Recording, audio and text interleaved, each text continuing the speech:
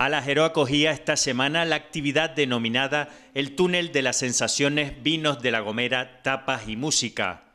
un evento destinado a impulsar y promocionar la gastronomía y los productos de nuestra tierra. El Ayuntamiento de Alajero es positivo de que ya llevemos pues el tercer año eh, con esta nueva edición de las tapas, vino y música en, nuestro salón cultural, eh, un evento que ya lleva unos años que también pues, por parte de nosotros pues, en esta época de Navidad pues queremos seguir eh, potenciando pues siempre los alimentos de la isla de La Gomera y también pues nuestros vinos, nuestros caldos de, la isla, que hoy aquí pues tendrán una representación con cerca de, 80 personas que van a participar eh, de nuevo este año en este evento. Por parte del ayuntamiento pues agradecerles a todos la participación y por supuesto desearles una feliz Navidad.